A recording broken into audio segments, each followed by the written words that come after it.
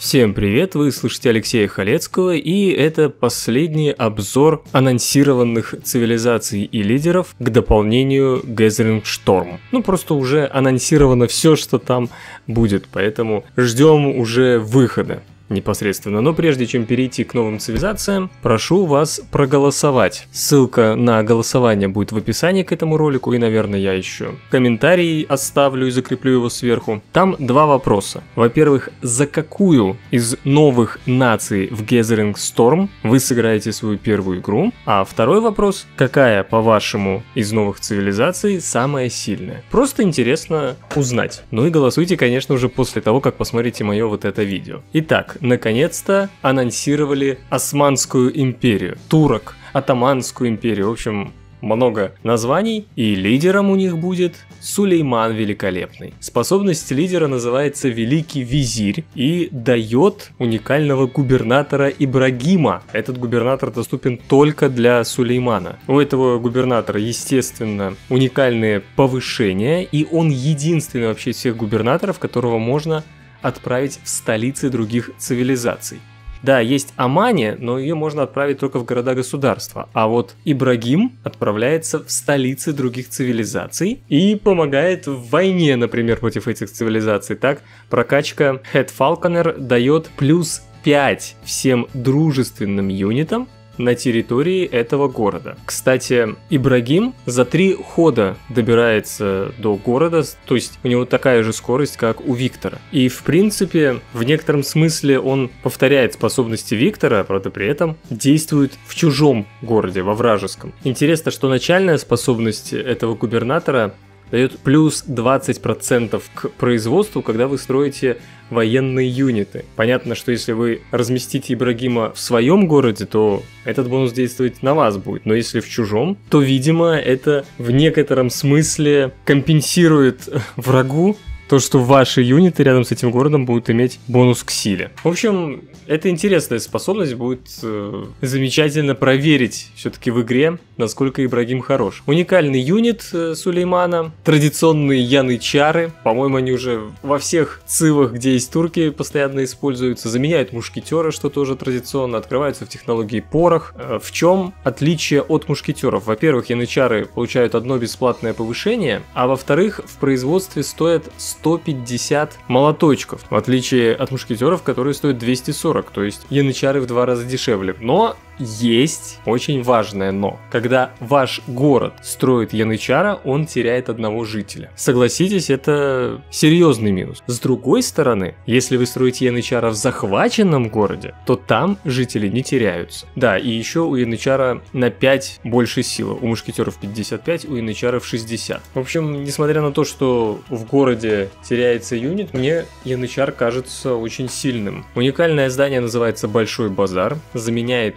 бар банк, и Большой базар дает плюс одно довольство за каждый обработанный ресурс довольства в городе, плюс один дополнительный стратегический ресурс каждому обработанному стратегическому ресурсу в городе. Ну, грубо говоря, удваивает э, количество ресурсов от города. В дополнении будет переработана система стратегических ресурсов, но даже так этот большой базар выглядит очень, очень прилично. Уникальный юнит, берберский корсар, заменяет капер, но при этом доступен раньше. В отличие от капера, разграбление прибрежных тайлов не тратит очки перемещения. Правда, в боевые характеристики точно такие же, как у капера, 40 ближний бой дальний 50, но при этом аж 7 очков перемещения. Напоминаю, у капера всего 4. Ну и в купе с тем, что берберский корсар появляется раньше, то у Турции очень неплохой морской юнит имеется. Ну и конец способность цивилизации называется Великая Турецкая Бомбарда и дает плюс 50 производства руководству осадным юнитом. Кроме того, все осадные юниты получают плюс 5 боевой мощи против районов. Города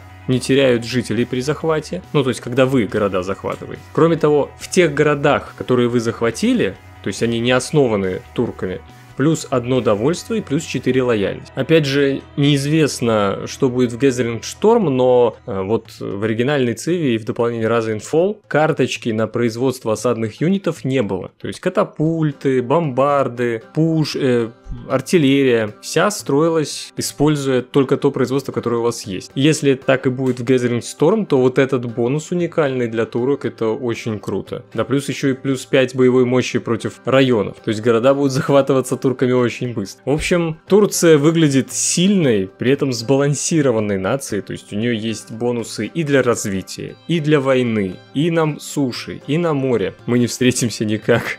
Хочется вспомнить Олега Газманова. Так что надо будет пробовать, конечно, в полевых условиях, но вот исходя из того, что нам рассказали разработчики об особенностях нации, турки очень сильны. Следующих анонсировали Финикию во главе с Дидоной. Ну, кто не в курсе, финикийцы — это предки карфагенян, так что считайте это тот же Карфаген, только Финикия. Способность лидера называется «Основательница Карфагена» и дает Финикии возможность переместить столицу в город с Катоном, выполнив специальный проект. Катон — это уникальный район, Финики, о котором чуть дальше. Кроме того, дают дополнительный торговый путь за правительственную площадь и каждое здание в нем. И плюс 50% к производству районов в городе с правительственной площадью. Ну, то есть имеется в виду, когда вы строите район в городе с правительственной площадью, то он будет строиться на 50% быстрее. Способность цивилизации называется Средиземноморские колонии и позволяет вам начать игру сразу с эврикой технологии письменность. Города, основанные на побережье и домашнем континенте, получают 100% лояльность. Поселенцы получают получают плюс 2 очка перемещения и плюс 2 к радиусу обзора. Правда, когда погружены на воду. Так бы на суше, конечно, это было слишком круто. При этом поселенцы не тратят очки перемещения на погружение в воду и высаживание на сушу. Упомянутый уже уникальный район называется Катон, и он заменяет гавань. Дает плюс 50% производства морским юнитам и поселенцам, а все раненые морские юниты лечатся на плюс 100 очков здоровья в границах города. Ну, то есть практически сразу вылечиваются полностью. Уникальный юнит Карфагена называется Берема и заменяет Галеру. Берема сильнее Галеры и перемещается дальше. Если у Галеры ближний бой 25, то у Беремы 30 и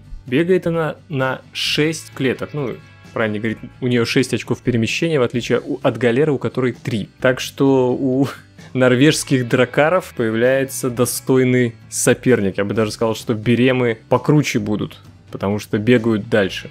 Еще одна интересная особенность Беремы – это то, что торговый караван не может быть разграблен, если он на море и в радиусе 4 тайлов от Беремы. Ну, я не думаю, что это часто будет использовано. По-моему, Финикия выглядит не так круто, как турки, и явно заточена на игру на море. Тем не менее, вот эта способность быстро строить поселенцев э, со своим уникальным районом будет интересно для быстрого расселения. Так что я бы не назвал Карфаген чисто морской нацией. К тому же много дополнительных торговых караванов за каждое здание в правительственной площади, а правительственная площадь довольно быстро можно построить, как и первое здание в нем. Это, считайте, два каравана в начале игры, неплохой бонус к развитию. В общем, опять же, ждем выхода игры, будем пробовать. Ну и последний анонс, это не цивилизация, это только лидер, и фишка его в том, точнее ее, что за Алиенору Аквитанскую можно играть за несколько цивилизаций. Либо за Францию, либо за Англию. Ну и исторически так сложилось, потому что она была сначала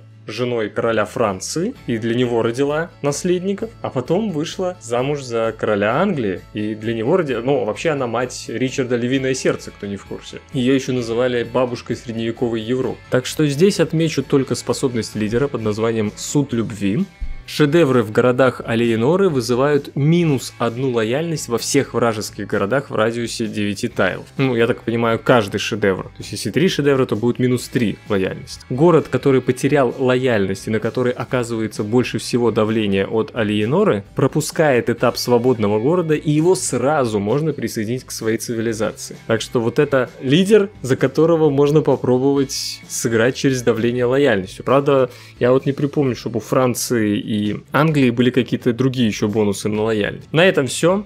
Мы теперь точно знаем список всех восьми новых цивилизаций и девяти новых лидеров, я их вам напомню. Венгрия под предводительством Матвея Первого Корвина, Маури под предводительством Купе, Канада и ее лидер Вильфред Лорье, Инки во главе с Пачакути, Мали с лидером Мансамусой, Швеция с Кристиной на троне, Атаманская империя с Сулейманом Великолепным, Финикия и Дидона и, наконец, Алиенора Аквитанская во главе либо Англии, либо Франции.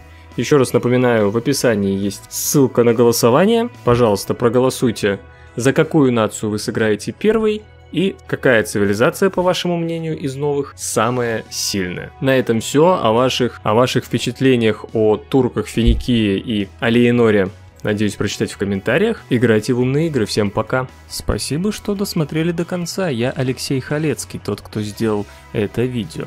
Пользуясь случаем, хочу попросить вас поставить лайк, оставить комментарий и поделиться этим видео со своими друзьями или в социальных сетях а также посмотреть другие мои видео, ссылки на которые вы видите сейчас на своем экране. Играйте в умные игры и всем пока!